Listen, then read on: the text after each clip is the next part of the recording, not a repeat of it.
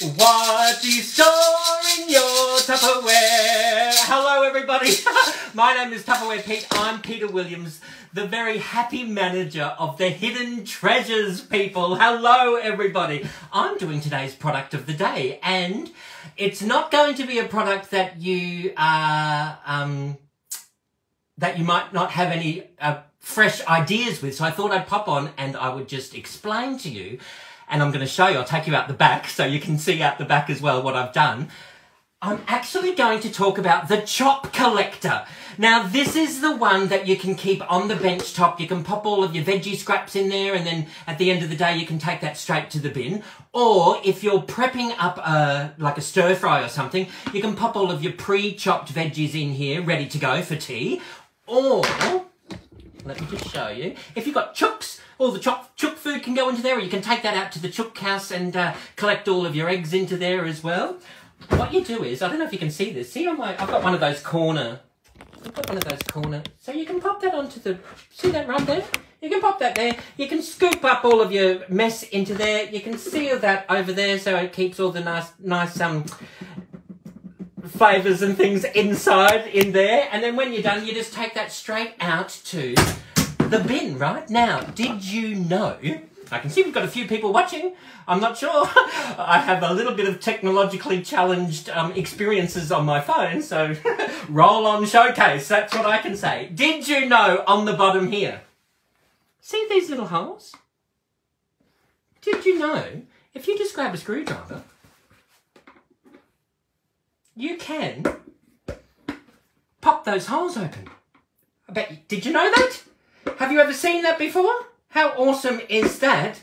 So now, if you want to, you can have your compost draining on the on the bench top and uh, you know on the sink top. You could pop that into a corner on the windowsill because it's got this little V shaped here. You can pop that on the corner of the windowsill. You can fill this up with dirt.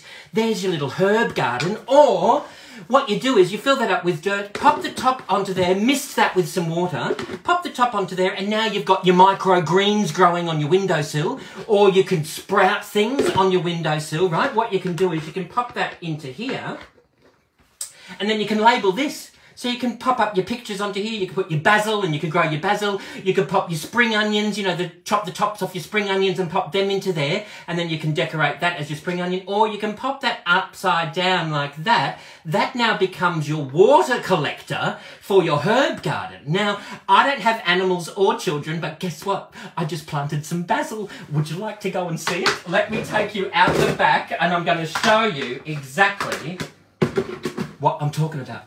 we'll have to be quiet so the neighbours don't hear. All right, are you ready? Let me take you out the back. I don't often take people out the back, but let me just show you. We'll just take you out the back. Here we, where, where's my, here we go. I'll just take you out the back and I'll show you what I've done. I don't have much space, but I do have a water heater. Now look at this. Let me just show you. Can't believe I'm actually doing this. All right. I'll pop you out the back here. Now look, there's my water heater. And there's my two chop collectors. I've got my basil, pistachio nuts as compost on one. There's the tops of the spring onions.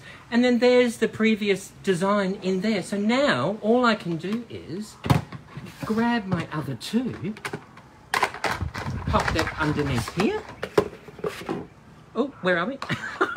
Doing this one-handed is quite interesting.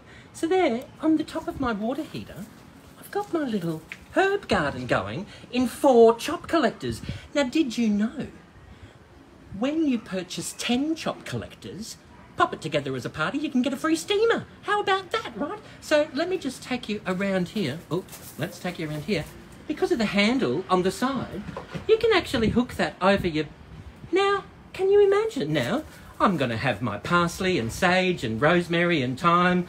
What do you store in your Tupperware? How awesome is that? I've got my herb garden happening in there. If I need to move house, I just take it with me and it's got the inbuilt drainers or I can stick it on my hot water system because I don't have much space and there's my four pots in there.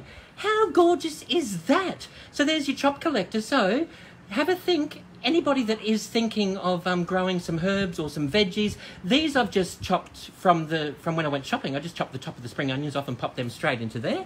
And I've got some chili seeds growing into there. There's my basil that I got from Aldi. There's a few other bits and pieces in there. So yeah, pop it through. Um, not only are we sell, selling the pink set this week um, for Breast Cancer Foundation research, uh, and that's going towards a, a free steamer for every 10 sets that you sell.